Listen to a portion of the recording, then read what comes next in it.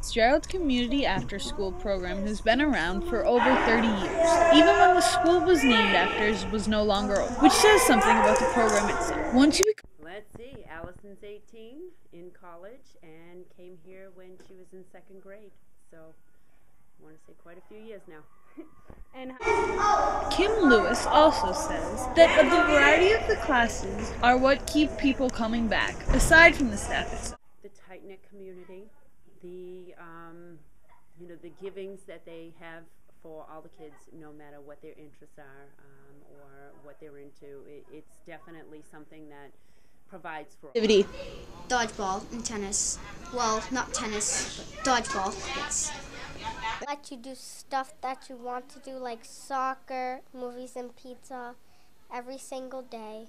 The program is run by Carolyn Rodriguez, who, aside from running the program, coaches a baseball. But even with the schedule that comes along with June both of these, 2010. she tends she makes time for every student, no matter who it is. Carolyn Rodriguez. Well, let me tell you, she is uh, my friend as well. Um, but you know, aside from being my friend, I've gotten to know her over the years. Do um, you know through the program?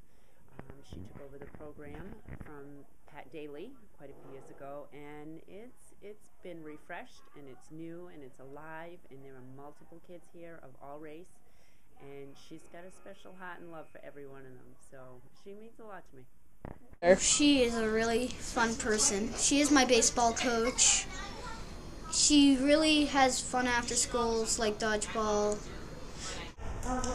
Fitzgerald After School program is one that has helped the children of the Cambridge community for many years, and because of the support it garners from families, it will continue to be a part of the community for many more years. For Emerson's Digital Journalism, I'm Sammy Washburn.